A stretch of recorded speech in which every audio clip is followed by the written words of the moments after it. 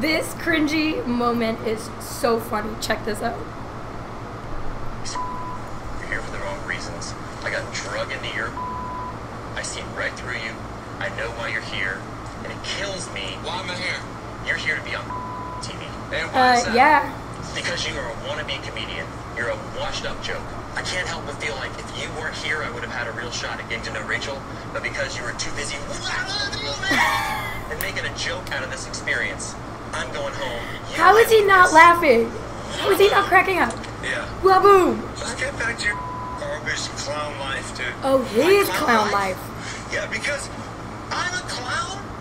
I'm a Yeah, clown hold on, because I can be funny. No. You don't even know what funny looks like. Funny is Wait, what funny looks like? Whaboom.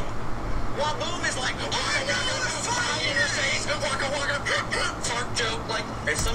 Pie in your face, waka waka fart joke. this guy is completely lost it.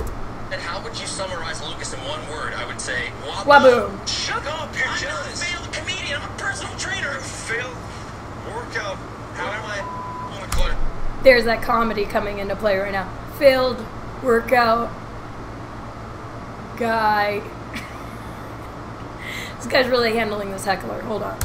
Workout person. Workout person. You do that well.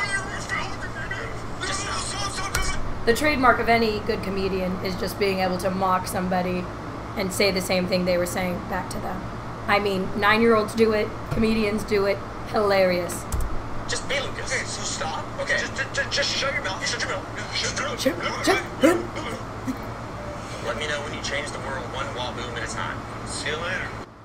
All right, man. Well, uh, see you later. Oh, yeah, I'll see you back at home. So cringy. Let me know which one of these guys you think was more cringy. I'm to go with the failed comedian saying "Boom." Up to you. Let me know in the comments. Also, don't forget to like and subscribe.